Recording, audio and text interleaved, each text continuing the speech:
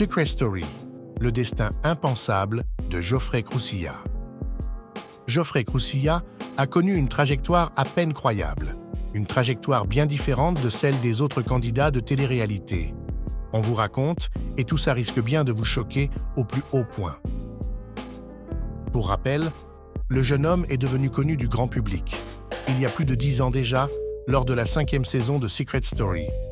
Une aventure qu'il avait commencée aux côtés de Marie Garrett, la grande gagnante de cette édition. Aujourd'hui âgé de 35 ans, Geoffrey se montre particulièrement discret.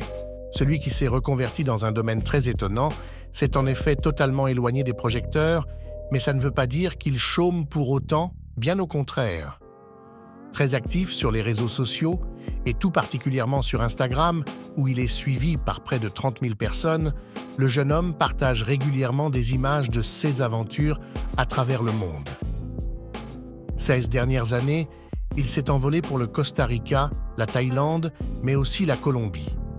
Il est aussi un grand passionné de motocross, comme en témoignent ses nombreuses photos postées sur son compte sur lesquelles on peut le voir en train de faire toutes sortes d'acrobaties.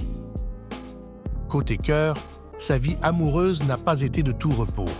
Après Marie, il a été en couple pendant quelque temps avec Julia Flabat, influenceuse révélée dans la quatrième saison des Anges de la télé-réalité.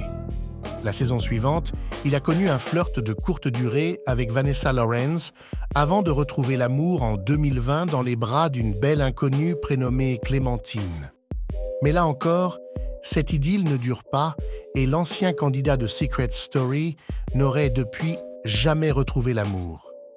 Vous vous demandez sûrement ce qu'il en est de sa vie professionnelle et c'est ici que ça devient intéressant alors qu'il a totalement coupé les ponts avec la télé-réalité et qu'il n'est pas un grand adepte des placements de produits, le trentenaire a totalement changé de voie.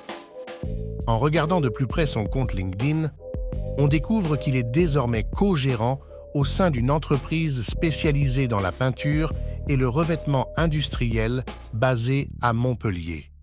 Un emploi très classique qui semble aujourd'hui lui convenir à merveille. Geoffrey semble en effet être très heureux dans cette nouvelle vie, une vie loin de toute agitation médiatique. À en croire ses abonnements sur Instagram, il ne fréquenterait d'ailleurs absolument plus personne du monde de la télé-réalité. Un destin pour le moins surprenant pour celui qui a été un visage emblématique de Secret Story.